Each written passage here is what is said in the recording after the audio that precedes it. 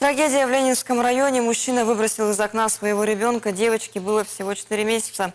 Ее отец, скорее всего, так и не понял, что произошло. Предположительно, он был под действием наркотиков.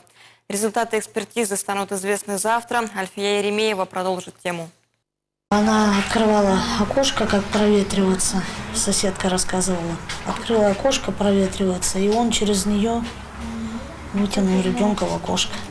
Соседи еще не могут оправиться от того, что случилось утром. Все произошло на четвертом этаже общежития. В этой комнате жила семья с двумя детьми. Мужчину и женщину называют проблемными, они часто ругались. Но сегодня никаких криков не было.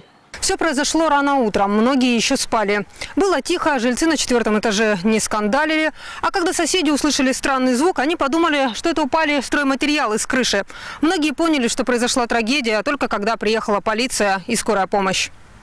Это и есть отец девочки. Запись сделали через несколько часов после трагедии. Известно, что задержанному 44 года, его сожительнице 38. Они нигде не работали. Их старшего ребенка забрали в детский дом еще в прошлом году. Полуторагодовалый мальчик и девочка, которой было всего несколько месяцев, жили вместе с родителями.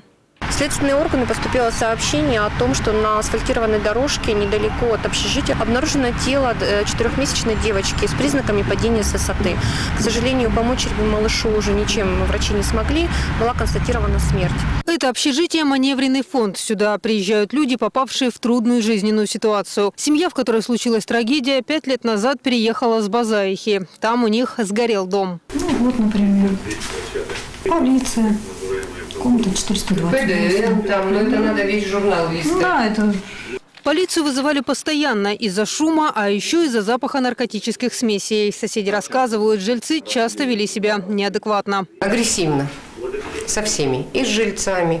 Ну, я уж про себя не говорю. То есть со всеми жильцами ссорились. Начиналось у них все в комнате. Ну и, видимо, под влиянием вот этих всех веществ они начинали скандалить. То бегали под лестницами, прятались, то еще что-нибудь.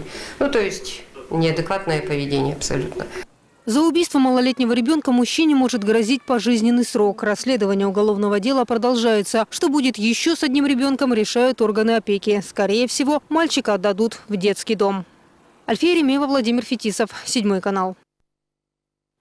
Уголовное дело об убийстве девочки на контроле в Центральном аппарате Следственного комитета страны. Это поручение главы ведомства Александра Бастрыкина. Он также считает, что привлечь к ответственности нужно не только родителей погибшего ребенка, но и органы опеки, которые обязаны следить, чтобы дети жили в безопасности.